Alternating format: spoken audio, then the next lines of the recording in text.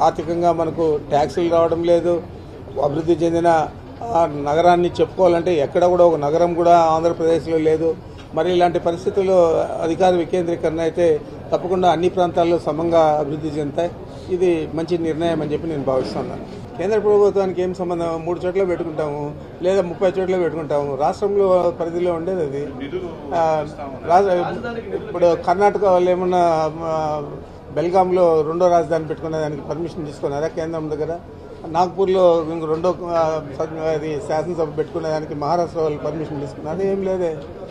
ఇది రాష్ట్ర పరిధిలో ఉంది. రాష్ట్రం వాళ్ళ అనుకూలంగా రాష్ట్రంలో ఎట్లా అనుకూలంగా ఉంటే రాష్ట్ర అభివృద్ధి అన్ని రకాల అన్ని చోట్ల చెందుతారు. దాని గురించి ఆలోచన చేసి మనం చేసుకుంటాం తప్ప ఇది కేంద్రానికి సంబంధించిన విషయం కాదు. ఎన్ని వేల కోట్లు ఇచ్చారు చంద్రబాబు నాయుడుకి?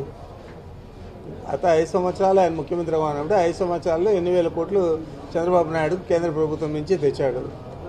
ఇదంతా కూడా ఊరికే ఒక వాదన. భూములు ఇచ్చిన వాళ్ళు ఎవరు లేరాడు భూములు లాక్కున్న వాళ్ళే ఉన్నారు.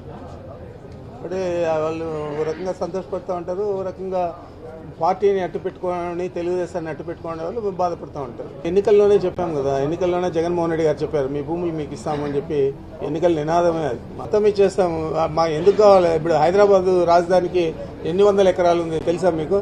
సచివాలయం తర్వాత శాసనసభ ఆ మధ్యలో ఉండేది. అంతా కలిపి రెండు వందల ఎకరాలు.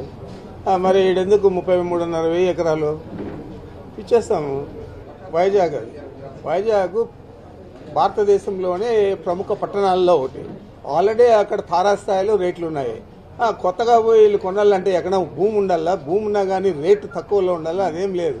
ముఖ్యమంత్రి గారు ఈరోజు ఇంగ్లీష్ మీడియం స్కూల్స్ వచ్చే విద్యా సంవత్సరం నుంచి ఒకటి నుంచి ఆరవ తరగతి వరకు ప్రారంభిస్తున్న నేపథ్యంలో మరి ఈరోజు చాలామంది ఆ విషయం ముఖ్యంగా ఆ చట్టం ఏదైతే మరి సవరణ చేశామో ఆ చట్టం మరి కౌన్సిల్లో పాస్ కాలేదు. మరి కౌన్సిల్లో ఆ చట్టం వీగిపోయింది.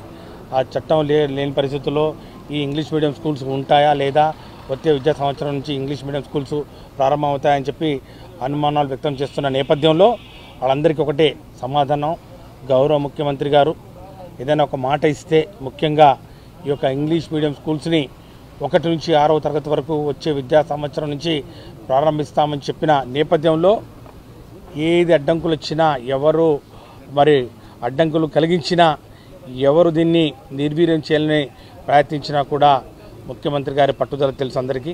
వారు ఏదైనా ఒకటి మాట ఇస్తే ఇచ్చిన మాట కోసం ఎంత దూరమైన పోరాటం చేయగలనటువంటి ఒక ధైర్యము ఒక ఆత్మస్థైర్యము ఒక దృఢ సంకల్పం ఉన్న వ్యక్తిగా ఈరోజు మనందరికీ తెలుసు.